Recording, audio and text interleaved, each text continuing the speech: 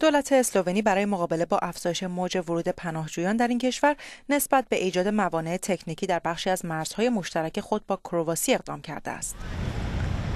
این تصمیم دولت اسلوونی یک روز پیش از نشست سران اروپا و برخی از رهبران آفریقا درباره موضوع ورود مهاجران به این قاره اعلام شده است.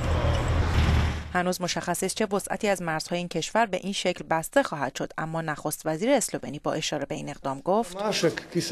این جریان سبب شده تا شرایط امنیتی در اسلوونی به مخاطره بیفتد و من به عنوان نخست وزیر این کشور اجازه نمی‌دهم این فاجعه انسانی در خاک ما رخ دهد. این موانع می توانند به طور مستقیم بر میزان غیرقابل کنترل پناهجویانی که از مرزهای ما عبور می کنند بکاهد و آنها را به سمت دیگری هدایت کند. بر اساس آخرین گزارش ها تنها طی روز گذشته بیش از هفت هزار پناهجو وارد اسلوونی شدند که حدود 6600 تن از آنها موفق شدند با عبور از مرزهای این کشور وارد اتریش شوند.